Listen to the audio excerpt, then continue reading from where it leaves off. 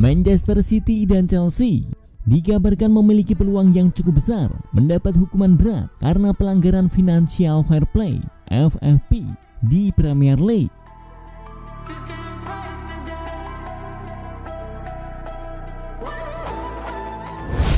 Dikutip dari Sky Sport yang merangkum semua pemberitaan media Inggris mengenai pelanggaran sejumlah klub yang mengguncang Premier League, setidaknya ada dua sanksi yang bisa dijatuhkan kepada Manchester City dan Chelsea. Mengingat pengurangan 10 poin yang diberikan kepada Everton, ancaman pengurangan 30 poin atau degradasi otomatis dari Premier League akan terlihat sangat nyata bagi Manchester City dan Chelsea jika tuduhan tersebut terbukti di Komisi Regulasi Independen tulis The Times.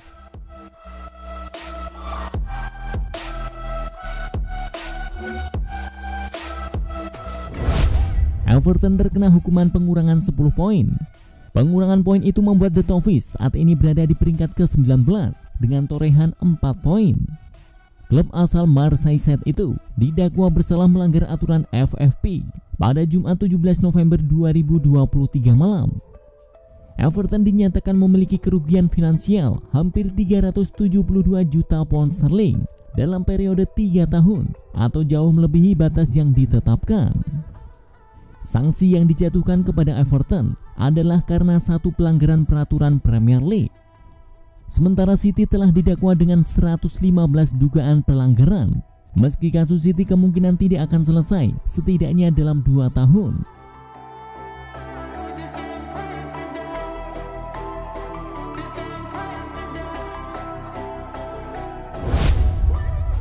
Chelsea masih dalam penyelidikan, namun dakwaan sepertinya tidak dapat dihindari. Mengingat pemilik baru telah melaporkan pembayaran besar yang tampaknya melanggar aturan Premier League selama kepemilikan sebelumnya di bawah Roman Abramovich. Tulis The Times.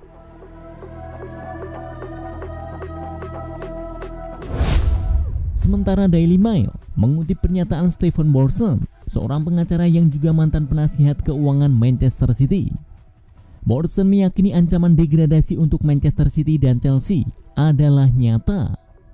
Tanpa melihat pengurangan 10 poin untuk Everton, bagi saya hukuman itu terasa berat.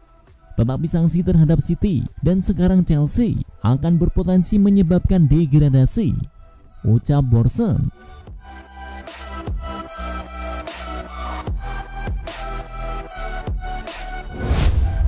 Hingga kini pihak Manchester City dan Chelsea belum mengeluarkan pernyataan resmi terkait peluang kedua klub mendapatkan sanksi berat dari Premier League.